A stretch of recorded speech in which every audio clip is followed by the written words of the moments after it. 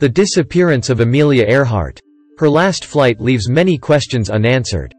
Amelia Earhart, a trailblazing aviator and advocate for women's rights, embarked on a daring mission to circumnavigate the globe. On July 2, 1937, during her flight near Howland Island in the Pacific Ocean, Earhart and her navigator Fred Noonan mysteriously vanished. Despite extensive search efforts, no sign of Earhart, Noonan, or their aircraft was ever discovered. The disappearance of Amelia Earhart remains an enigma, captivating the world's imagination for decades. Various theories attempt to explain their fate. One hypothesis suggests they crashed into the Pacific and sank, while another proposes they were taken prisoner by the Japanese government.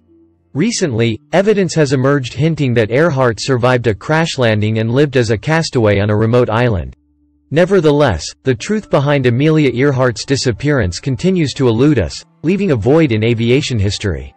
Her legacy as a pioneering aviator endures, inspiring generations of women to reach for the skies and challenge societal norms. Amelia Earhart's audacity and courage have become a symbol of resilience and determination, reminding us to embrace our dreams fearlessly. What do you think happened to her and her navigator? Write it in the comments.